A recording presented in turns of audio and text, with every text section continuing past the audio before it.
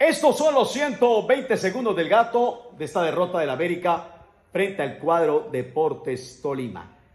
¿Qué tipo de análisis se le hace a un partido cuando en el minuto 2, bueno, minuto y 30 segundos, te quedas con 10 hombres por la irresponsabilidad de un jugador? En este caso de Malagón, que venía trabajando bien en los últimos partidos, pero no sé qué le pasó a Malagón. Qué cagadón tan tremendo haber desbaratado lo que tácticamente pretendía el técnico Juan Carlos Osorio. Que entre otras cosas, pensé que en América se habían acabado las rotaciones, pero no, no se acabaron. Pensé que con esa continuidad, América frente a Pasto gana, América frente a Pereira gana, América frente a Millonarios gana. En esta ocasión, pues hombre, se necesita el resultado. No, tenían que volver cualquier cantidad de cambios a la nómina del profesor, del mister Juan Carlos Osorio.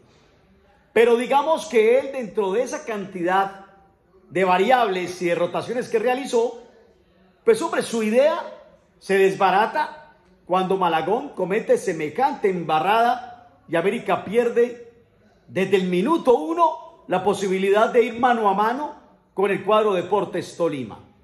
Un Tolima que a propósito, yo no sé si fue desplicente, no sé si jugó fácil, no sé si, si estaba jugando con demasiada tranquilidad, pero fue un Deportes Tolima hoy bien normal y sin embargo ganó con la suficiencia de un 2 por 0. Y América nos quedó debiendo a pesar de la entrega, sobre todo en la primera parte, y de cómo terminó en la segunda parte cuando iba 2-0, América quedó debiendo a raíz de lo que sucedió. Pero además el profesor salió sin con quién convirtiera. Y ya la segunda parte tira a Deiner, tira a Adrián, tira a Lucumí, que poco también aportaron. Más Adrián que tuvo dos.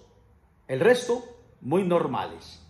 América queda con la obligación de ganarle Alianza Petrolera porque Tolima recibe a Millonarios. Y donde América tenga un inconveniente, queda listo con una victoria del cuadro picado frente a los albiazules. Necesita América reivindicarse como visitante en un terreno donde ya ha logrado algunas cositas. Dale retweet y comparte.